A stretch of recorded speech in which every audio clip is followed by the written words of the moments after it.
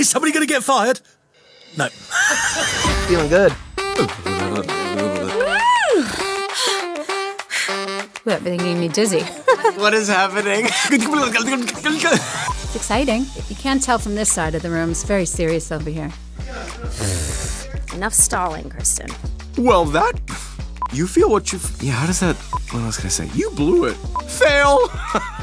I'm so sorry. We're behind. Okay, here we go. Once again, that side of the room, no reaction. Do we think I can sing with this in my mouth? Yeah, go ahead and try it. Cause when you're brittler. Is when you're softer.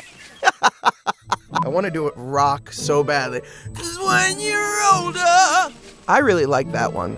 Hmm. Hmm. Papa's tired of being told his singing isn't good enough for Frozen 2. Papa's scared he's gonna get replaced by another Papa named Jack Black. Skadoinky doinky boinky flunky boo boo. Do you have any suggestions? Do you have any suggestions?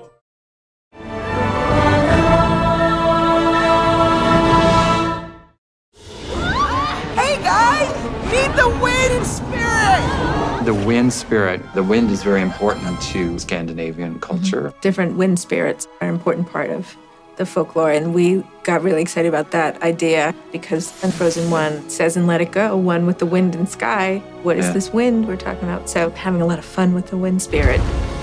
The first time we're being introduced to this character is with Queen Iduna, who you see in flashbacks in the forest of the Northuldra.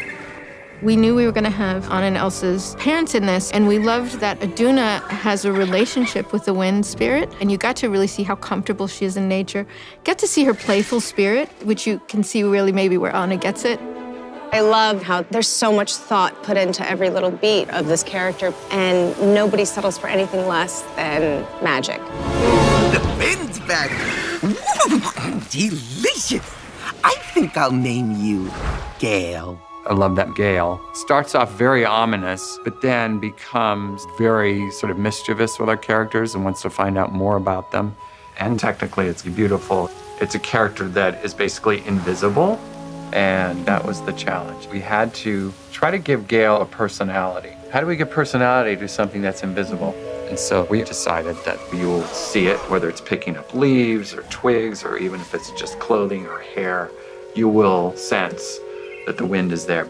As Gale's playing with these elements and clothing, it gives you this personality. And as the story goes on, it actually sort of guides them a little bit and helps them towards solving some of the mysteries. This forest is beautiful. Did you know the look of the Enchanted Forest was inspired by a classic Disney movie? Wait, what? Can you guess which one? Um. If you guessed Sleeping Beauty, you're correct. We all kind of got it. The artists were inspired by Eyvind Earle, who created the ethereal backgrounds and color choices of the Walt Disney classic. More specifically, filmmakers loved his vertical lines and grouping of trees. I'm sure you know that Jonathan Groff plays the voice of Kristoff. Clearly.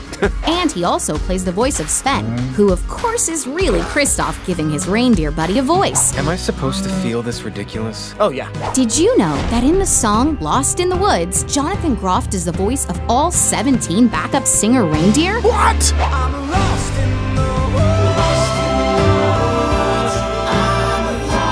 What a talented guy! Oh, you do the best voices.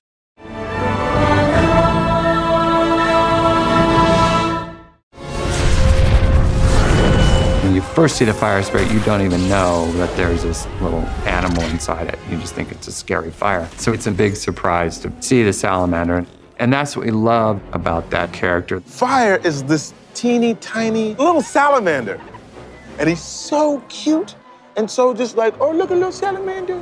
I don't start any trouble. And there's a big fire comes out of this teeny tiny salamander. See, you can't judge a spirit by its cover. They're all looking at us, aren't they?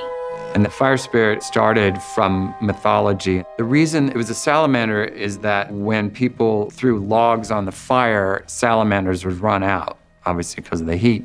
And that's where they lived. And so they decided that the salamander was going to be the fire spirit. So we took off from that.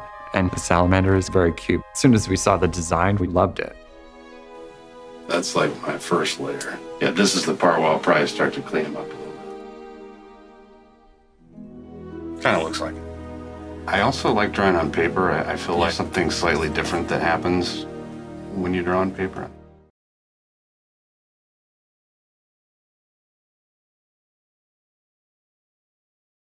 Hey, Lisa here with a bonus animation behind the scenes movie fact. Now, did you know that the scene in Frozen where Elsa walks out of her ice palace took 132 hours and that's more than five days to generate?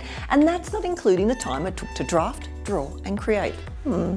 Now, remember to stay up to date on the latest movie releases by clicking below and on the side for more great content. And if you like my shirt, you can get one for yourself in the link in the description.